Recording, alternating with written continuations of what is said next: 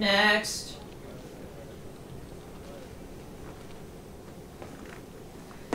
Alexander Plainstiff, five foot eight, 160 pounds, one and a half counts of aggravated assault, loitering. Sir, please face your left.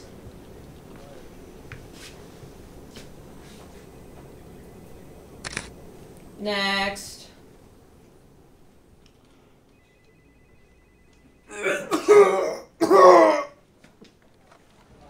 Next.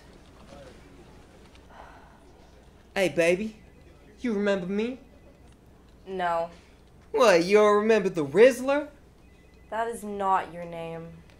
Jimmy the Rizzler Dersh, forgery, loitering. How to get a name change, you feel me? Wait, you Lauren though, right? N- no? Package for Lauren Phillips from Jimmy. What is this?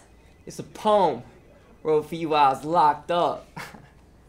These summer nights are oh so hot, but I survive by thinking of your God. hey, keep reading, there's more. Face forward. That one was free.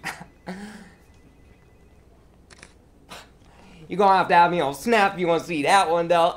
Why did no one confiscate that? Please note the suspect is permitted to use a cellular device as a translation tool. He speaks English.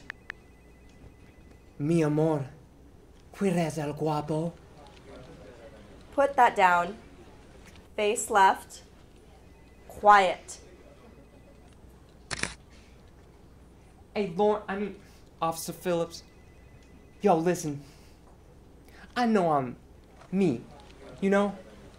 But deep down, I got emotional maturity, I got respect, I got loyalty, and I got love. Now, I just need someone to share that with, for real.